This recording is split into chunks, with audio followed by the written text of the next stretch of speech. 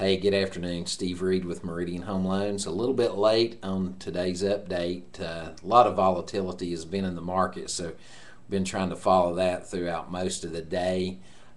We're currently seeing the bonds at about 38 uh, points on the negative side. We've had the slide kind of going all day. We started out to the negative side, got a little bit better, and now we're headed back down the slope as far as the uh, bond market goes. So we're probably going to see some higher rate updates maybe later today or first thing in the morning. So keep that in mind. We're currently in a locking stance. There's just a lot of negative things going on in the market today that is driving this bond market. Uh, we're looking at uh, you know the initial unemployment claims were a little bit lower, so good news for the economy, bad news for bonds. We're still getting a lot of inflation fears.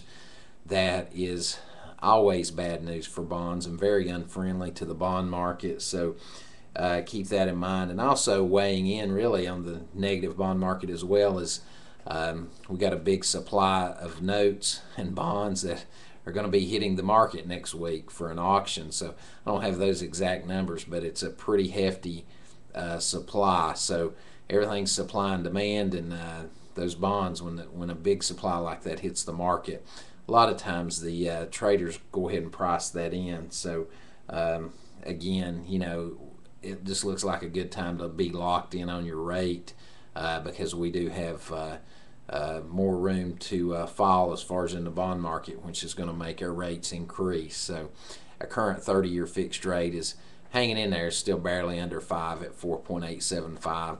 15-year rate is 4.25 uh, but it'll probably be at 4.375 by in the morning. So uh, if you're a real estate agent, if you have clients that are, you know, looking to purchase, thinking about locking in, can't decide, or, you know, if you're out there thinking about refinancing your own home, it is really important to uh, to get that thing locked in now.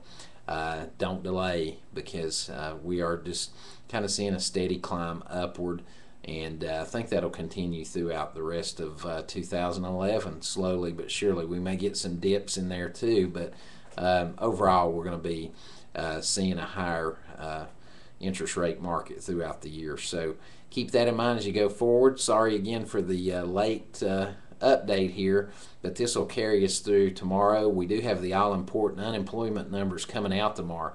So that's going to be a market mover as well. Uh, look for the unemployment uh, rate to go from about 9.4 possibly to 9.6, probably 9.5 at least. So that's the numbers we're we're uh, getting as far as from the experts that are predicting what's going to happen. So that number will be out in the morning. That'll be interesting to watch. Probably be a volatile day tomorrow. So stay tuned. Have a great evening. Take care.